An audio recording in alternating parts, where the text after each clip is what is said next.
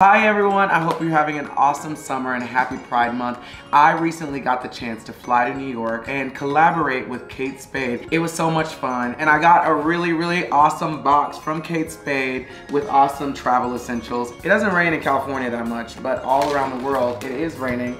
I just came out with a new song that this is so appropriate for. This is also really fun. I'm obsessed with this. I'm a huge fan of a polka dot moment. A little toiletry bag so I can put my makeup in there, a water bottle, and it has a tea on it. This backpack is so cute. Not a fan of the color green, but if it works, it works. This is the item I'm gonna give to Jenny. She's so cute and she has the most gorgeous red hair and nothing goes better with red than green. I mean, hello, ask Santa Claus. Oh my gosh, thank you so much, Kate Spade. Love a perfume moment.